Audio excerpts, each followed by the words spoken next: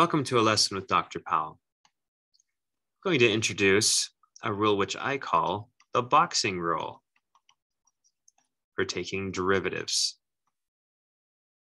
This works when we have a function and we have different parts of it, especially like a multiplication even of two things.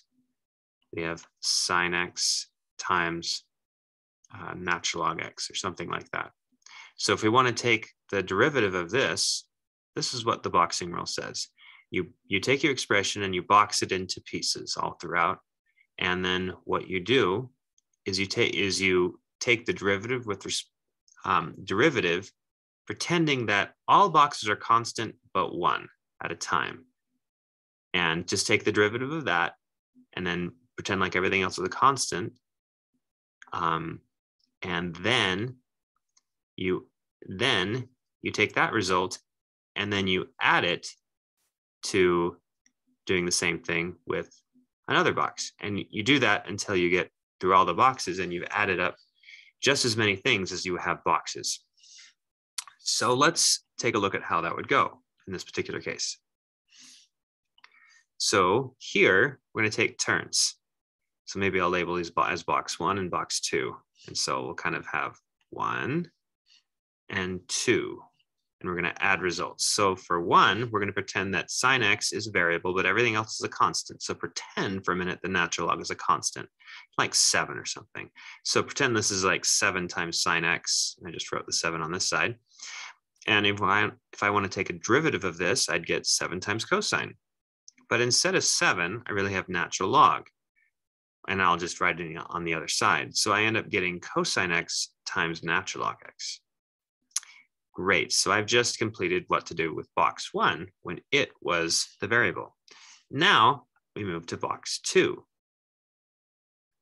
All right, so we're gonna take the derivative of box two, um, or of the whole thing. We take a derivative of the whole entire thing, pretending that box two is the only thing that varies and everything else is like a constant. This is like a constant times natural log x. So the derivative of natural log x is 1 over x, and we multiply it by that other thing thought of as a constant. So sine x times 1 over x. And we're done. We just took the derivative of f of x. So it's just going to be the sum of these two things. Cosine x times natural log x. We have cosine of x times natural log x plus sine x um, times 1 over x. And that right there is the derivative of f.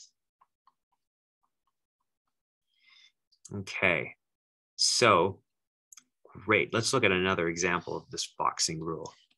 All right, so what if we had something like um, sine of x raised to the x power? All right. So this is a function. Now I can split it into two boxes here in the expression.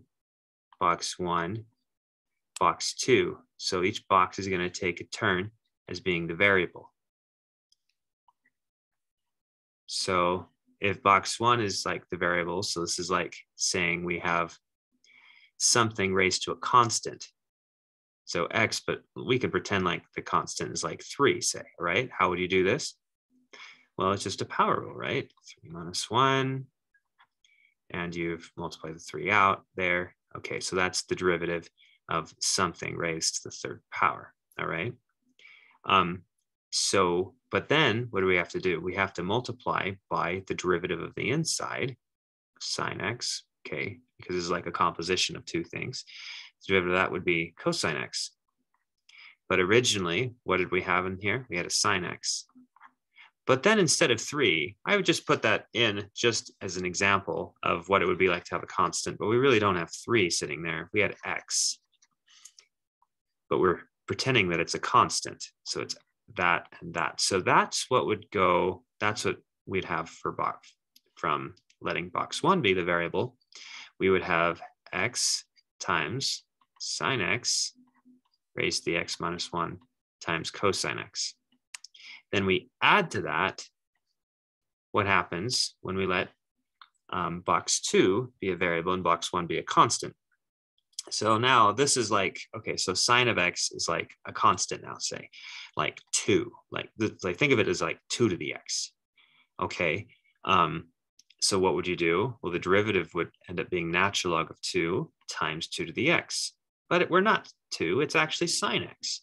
So what we really have is natural log of sine x times sine x raised to the x power.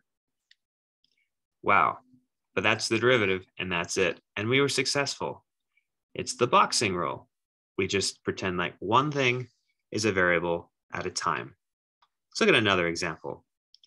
Let's suppose that we had this time three boxes. Um, x times sine x times uh, cosine x even. All right, let's just do that. Three boxes. One, two, and three. So for each box, pretend that it's that it's a variable one at a time, and everything else is held is pretended to be a constant. We take the derivatives with those assumptions, and then we add the results. So for one, we pretend that that's a okay, that's the variable. Take a derivative, and these are constants. So a constant times x. What is the derivative? Just the constant.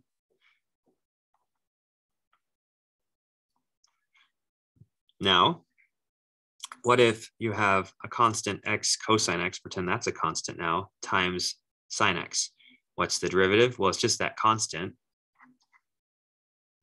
multiplied by um, multiplied by the derivative of sine, which is just cosine. Awesome.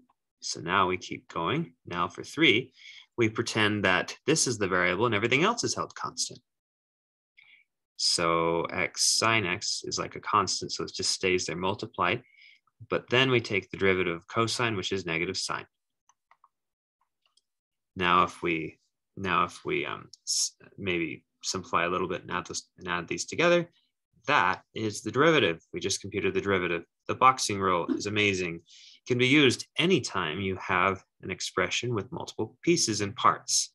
You box them up and you just proceed pretending that one thing is constant one at a time and add up the results.